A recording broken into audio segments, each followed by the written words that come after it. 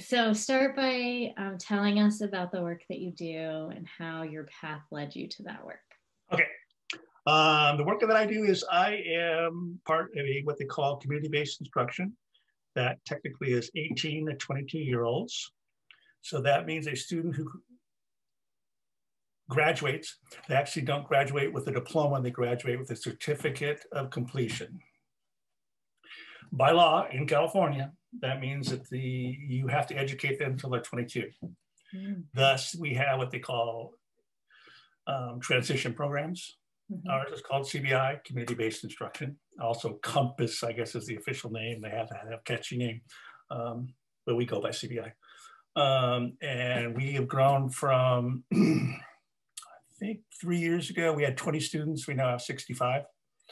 It is one of the largest growing segments in education, uh, transition programs. Yeah. Uh, number one, because people are becoming more and more identified with certain disabilities or they didn't do very well in high school.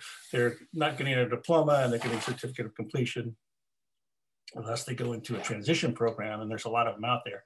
Um, not as good as ours, but I mean, there's a lot of them out there. Um, and so how I got there, how many days do we have here? Do we have a lot? No. um, uh, you know, I was in the restaurant business for a long, long, long time, and people go, how do you jump there to education and special education?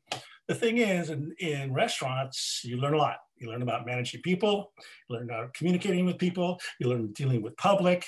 I mean, if you're in the restaurant business for any period of time, you have a very wide range of things to do. and a lot of things that you do do go along with education. Um, I was in charge of a management training program that helped me manage people. Uh, you are talking all the time in public to the public as well as employees. So restaurant business is great for education. Um, for all you people out there that are afraid to get up in front of people, going to the restaurant business, you'll be on top of the world. Um, I was working in the restaurants and then my son wasn't born deaf he went deaf at two. He got a cochlear implant at about two and a half, and I could talk about that for days, and I won't. But it allows him to hear. He hears better than I do, um, which is a plus and a minus. Because sometimes, like uh, we were in the car one day when he first got it, and I was singing. There was a song on the radio, and uh, he took his ear and he pulled it off because he didn't like the way I was singing. So he didn't have to hear me, so he just pulled it right off.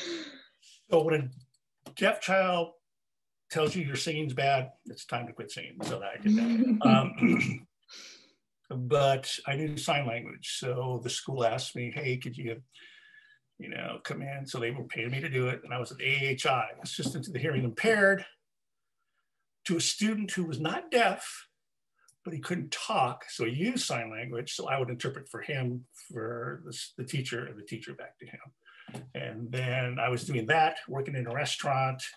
Um, that was seven days a week between those two positions. Mm-hmm. Um, and then I decided, why don't I get a teaching credential? Okay, why don't we just add more hours on here? So I was going to school, working two jobs, and then I did that for about two years, took me two years to get my credential. Um, and then I became a teacher. I got snatched up right away. Uh, I was doing mod severe um, for the first year, and then this position came open, and they said, "Hey, for uh, three months, can you come do this?" And six years later, I'm still here. Um, that's because it's grown so much. Um, it's again, they're identifying more students, and the programs are growing as as as people need um, more and more services. Um, so I went from restaurants to just being an aide to being a teacher, and that's where I am. Uh, our particular program, very good program. It's um, won, won a few awards, teachers won a few awards. Um, we're pretty good, if I say so myself. A lot of programs out there. Most districts have a transition program, except for if you're in a private school. Um, and they are all, there's some really, really, really, really good programs out there, but it's such a growing, growing segment of education right now. It's huge you just go online and you can see jobs everywhere. So if you want to go into a job, education. If, in fact, if you look for the if you're looking for the jobs that, that'll be growing in the next ten years, education's in there. Mm-hmm. Absolutely, it's, it's especially special education. So restaurants, aid, teacher. And, and this lesson is something when I talk to my students, I say, don't be afraid of change. Look at me. I went from, you know, washing dishes to teaching you. So uh, there's a lot of years in between there, but uh, don't be afraid of change because I made my change at 59 or 58, uh, you know, going from restaurants to teaching. And, you know, age is one of those things you don't worry about it and don't be afraid of change because people go, God, aren't you scared? And I said, not really, um, because I wasn't. I don't know. Yeah. I, That's I, how I got here. I made the transition from restaurants too, and it was it was definitely challenging because pe- people do have this stigma of like, well, you can only do restaurants, but I'm so glad, you know, to have switched into HR. And of course, then I did HR for restaurants. So there's some similarities there. But, but you do get a part of HR, especially, you know, if the company yeah. you work for, um, HR is a big thing. Um, so you were, you talk HR all the time. Yeah.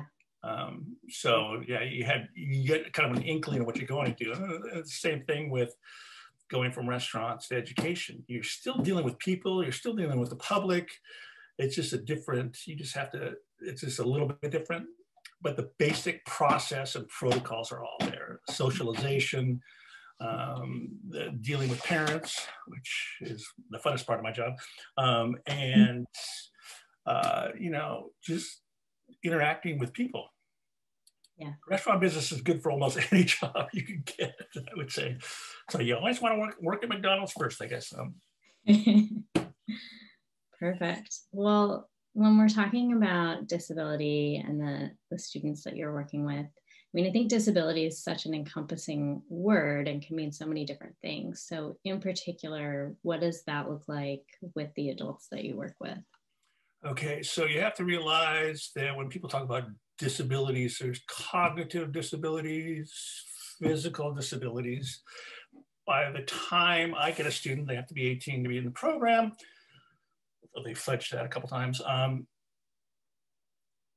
they've been diagnosed, and they've been diagnosed 18 years ago, or 16 or 17 years ago.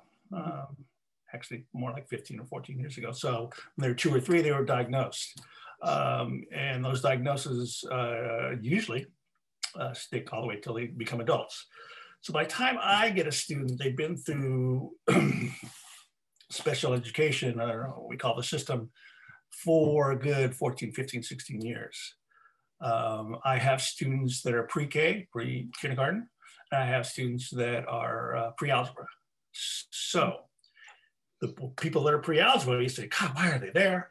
There are social issues also. So when you have cognitive understanding, uh, sometimes you have some social issues too. So you have physical issues, cognitive issues, social issues.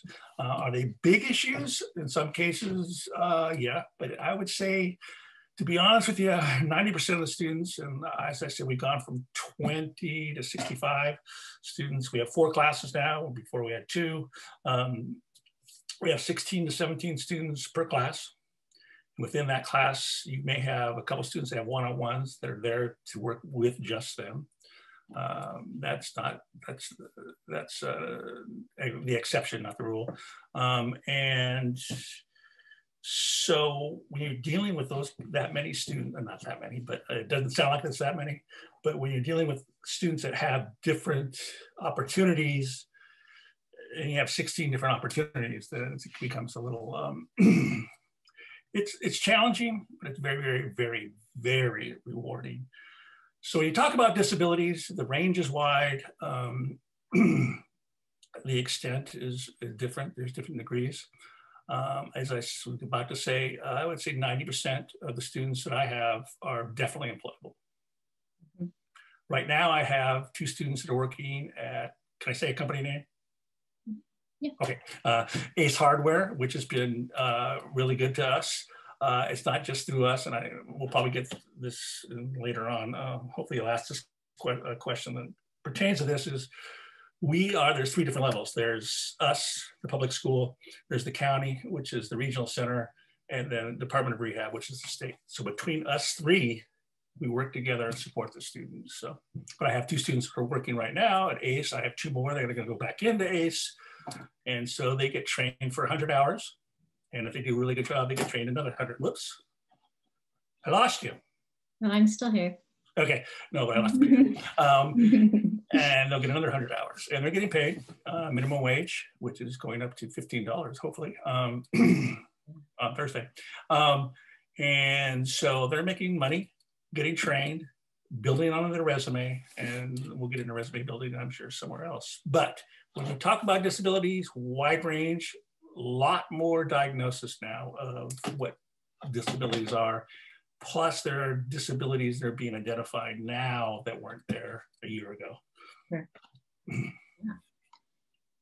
Thank you for explaining that. Um, the other thing that I think often happens when people think about disabilities or interacting with someone with a disability is they have a fear of doing the wrong thing, saying the wrong thing. Mm-hmm. What resources would you recommend that people look into to educate themselves about the appropriate ways to interact with people with disabilities? Um, that is a lot of not a lot of my job. It's part of my job. Mm-hmm. Um, I'm going to use my son here as an example because he's uh, a lot of students with this. Some students with disabilities don't have what we call a filter, um, and they, we constantly, constantly everything we do is heavily scaffold so that we bring out the best of the student and we tell them this is what you, sh you should be doing when you are interacting with other people now and then we practice that all the time mm-hmm. now with the online the virtual pluses here of being online is you have 16 people in front of you and they are interacting with 16 people all at once mm-hmm. In a classroom it's different it's more one-on-one so that socialization is very big that's good virtually, but you have to have physical socialization in order to really, really, really teach that. Um, as I've said, 90% of the students I say are employable, and that's because they are socially very, very adept at what they're doing. They want to be out there as much as anybody wants them to be out there, and they will do anything to make sure that it works. And they will, my students are honest, ethical, hardworking. They're the best. They're great uh, the ones I have right now are great. Uh, I've never had really, I've had some students that are tough, um, but I've had really, I've been very fortunate. I've some great students and the program has had some great students. awesome. And then what would you say are some of the daily challenges that your students face relating to their disabilities? I think especially, you know, in the workplace, but just in general as well. Um, the daily challenges are this overall feeling well it's i don't know if it's daily it, it, it's the it's the foundation sometimes of um, i don't want to i could talk about this for about a day um, parents have this thing and, and parents are 50% of the whole thing there's the school we cannot do everything uh, the parents are part of this whole thing and that you try to work with the parents um, bringing them in you know, what goes on at school also goes on at home, especially when you're talking about what we were just talking about, socialization, interacting, and that sort of thing. Parents come into different categories. Um, overall, I would say a good percentage of our parents think that their student is broken somehow. Mm. So there's this feeling that me or a teacher is going to fix all that. First of hmm. all, they're not broken, so there's nothing to fix. Uh, we bring out the best in them and we teach them, we mentor them, we show them, uh, we are the example of what it's going to be like when they get out in the community. And that's why it's called community-based instruction. Um, some of the things we do do, and I, as I said, I could talk about this for days. Um, we have computer labs. We have, we go on shopping sprees, not shopping sprees, but shopping for food, then we cook the food. Um, we go out in the community a lot. We have job sites. Um, I could name companies, right? Uh, Round Table Pizza, Walgreens. We work with the city of Antioch, uh, PetSmart. Um, God, I'm missing somebody here.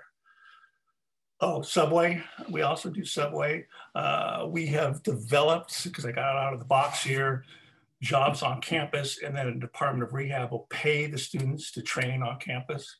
And so they're getting all, these different interactions here. Um, sometimes it's only for an hour a day. And sometimes when you have 100 hours, they're working six and seven hours a day. So you have those two things. So um, you have to really, really incorporate the parents into it. And you have to look at in the classroom how it is best for this student to become successful. Um, the challenges are having the parents buy into it. By the time we get a student, and I said being in the system for 14, 15, 16 years, is you are no longer reading um, To Kill a Mockingbird. Now you're reading job requirements, or you're reading about a job, or you're reading um, how to write a resume or something like that. Mm-hmm. So when you speak, talk English, like an English class, it's completely different. Right. You're going from academic school school to uh, academic, you know, life skills. Um, and it's completely different. And the people, uh, some students have a hard time jumping from school to um, transition programs. And again, you have to get the parents in there uh, on a day-to-day basis. The challenges are keeping students focused, keeping them with that goal in mind because time sometimes is, is difficult to, where do you want to be in a year? Where do you want to be in five years? Um, and you get the goals and you have students develop goals and they'll say, I want to live by myself. Okay, what's that going to entail? That's going to entail the job. And then we talk about budgets. We talk about, do you want to live by yourself? Do you want to live with a roommate?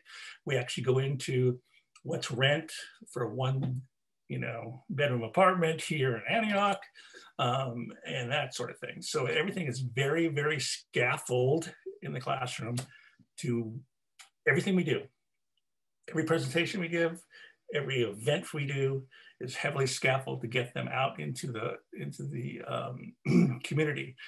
Um, getting the community, the hardest part on the day-to-day basis is getting them out in the community and getting them that self-esteem and confidence to go out there and do it. Mm-hmm. That's the hardest part. Uh, because for 14, 15, 16 years, they've been in special ed. I wish we'd get rid of that term. I don't know what what term we could come up with. Uh, some of them have been ridden on a bus. Only bus people that take buses these days are the ones that are in special education. So you have this kind of stigma. Mm-hmm. You have to get rid of that. Um, I'm going to use my son as an example. He was fortunate. His high school, or excuse me, his elementary school, middle school, and high school with all two blocks of each other. So every student he went to elementary school with whether it be general ed or special ed, went with him from there to middle school to high school. So the general ed students knew him as well. So we walk around town all the time and people go, oh, there's Bo, I know. Um, and that's huge. Um, we have to really get them out there. And that's the biggest challenge on a day-to-day basis. Again, uh, big support from Regional Center, big support from the Department of Rehab. I work with them um, very closely. I've been talking to them uh, every week. Uh, part of the problems we're going to see coming going forward is their budgets for this year are based on budgets for last year. We weren't out because of the pandemic. So if they cut that and we come back to school, are we going to have enough money to get them back out in the, in the public? And um, hopefully with the change of administration, that money won't go away, especially for special education. Yeah. Thank you. Um, my next question is about um, employers and what employers can do to make jobs more attractive to people with disabilities or even maybe just more visible. Um, a high percentage of the employers we deal with um, realize a couple of things. And First of all, they get a tax break if they hire our students, which is always a plus. Um, we do go, uh, we do have training programs, so we send a trainer with them. Uh, that's usually through Workability, which is the county. So one of my aides will go with them and actually works with them. They give us the job, they show us the job, we do the job with our own personal trainer. Department of Rehab, the person at the site actually trains the people so that they can train the person exactly how they want them to do it. So they're getting a tax break, uh, their, their salary is getting paid for, um, and you have this person for 100 hours. If you like them, you can hire them, or if you like them, you can have them for another 100 hours. Um, those are some of the pluses. Plus, after I would say a majority, a, wide, a large majority of our, our uh, employers see how honest, see how ethical, see how hardworking these students are trying to be. And that's that just sells it right there. The hardest part, getting that initial in there. Uh, big companies to do that. Uh, I would say Safeway, which is owned by Albertsons, I think, um, hires a lot of hires a lot of uh, students with disabilities.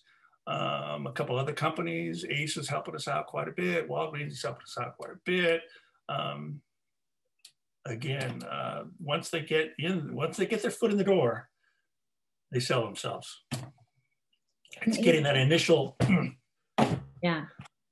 And that's what the big, the big, you know, as I said, we have those three umbrellas. They have us, small umbrella, counties, bigger umbrella, and then you have the state, which is a huge umbrella. And between those three, we can usually talk people into it. so you have to you have to be out in the community a lot. You have to do a lot of selling. And if a company was like reading this or listening to this and said, "Oh, I'm interested in finding out about that program," how would they get connected? And if you, uh, you could contact me. If you contact either the regional center for mm-hmm. Contra Costa County, because we're in Contra Costa County, um, or the Department of Rehab statewide. Uh, my particular office is in Antioch. Uh, they would be loved to. This is what they do. This is their whole function is to do this, mm-hmm. um, and they always come to our program first because we are very, very, very active and we're a pretty good sized program. Um, we also place people pretty fast because we have people that are we know that can get out there. Um, and the, the, support is pretty extensive. Uh, Department of Rehab gives a class once a week uh, online now. Usually it was in person to our students, and they have to go eight weeks. And after they get through that eight week course, then we get them to an employer. So it's not as if they're walking in this cold because they don't. They aren't. Yeah. We also have an occupational toolkit through the county, which is a self-paced online Again, you have to complete that to go out into the job market. So there's a lot of prerequisites you have to get done before you get out there. But um, you know, it, it's if you if you either contact me or contact regional center or the Department of Rehab, and they're they're all statewide. There's regional centers in every region or every county, and the Department of Rehab is everywhere. Nice. And then as far as if you have employers maybe that are connecting with people with disabilities outside of this program and they have people going through the interview process, are there any things you can think about with a standard interview process that where maybe employers could accommodate or make it more easy? Uh, depending on the situation, you're going to have to, because a lot of now in HR, and a lot of the laws, especially in California, you have to ask the same questions to the same people every time uh, because you don't want to discriminate. Uh, you want to give somebody a leg up. Um, in some cases, you might want to have somebody from the Department of Rehab or somebody from the regional center um, with them in the interview. They may not understand the questions. So you may have to, when you talk about accommodation, you could ask the question, you may have to phrase it a little bit differently. Mm-hmm. Um, some of the applications now are extremely difficult um, for our students. A lot of them are psychological profiles, which, you know, some of the companies, you have 65 questions you have to answer online. And I'm sure that prints out, you know, where we used to work um, was red, you know, yellow, green. Um, I'm sure it prints out that way on the other end. And those are tough, tough questions. I mean, they're tough questions. I mean, they're asking the same three or four questions 15 different ways and the phraseology in it and the words they use sometimes are a little bit difficult for our students. So you have to understand that. Um, I think the virtual um, interviews now are great for our students because they seem to be a little bit more comfortable with that. I think sometimes our students get a little bit uncomfortable with being in person unless there's somebody there with them. You have to understand you know, keep on saying this, you know, the first 14, 15 years, they always had people with them every step of the way. Uh, we push them a lot harder in the transition program. Oops, lost, lost myself again. Keep on hitting my thing. Um, we push them a lot harder. We want to get them out there. We got to give them that self-confidence and that self-esteem. And we have to, you know, model that as well as get them out there.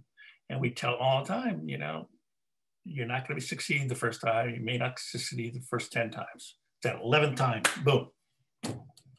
So if um, employers can understand that, even if they can just say, hey, this is it. I'm not going to hire you for all full time or part time or whatever. Let's try this out. And then you have one of the programs like a regional center or a department of rehab pay for their salary. Um, so it's a you know it's it's um, it's no it's no sweat off them if they if they um, try to at least try the student out. Right. Awesome.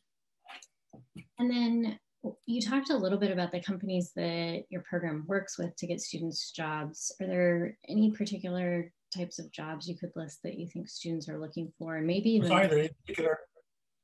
Oh, I, you, you talked about the types of companies that you're working with and types of jobs mm-hmm. a little bit that students are doing, but are there any other types of jobs that students are looking for that maybe they're hoping to get into, but your program doesn't work with, things like that? Um, other jobs, yeah, there's a lot right now because of um, they would like to learn a trade. Mm-hmm. And a lot of that's coming out right now because the housing shortage everywhere.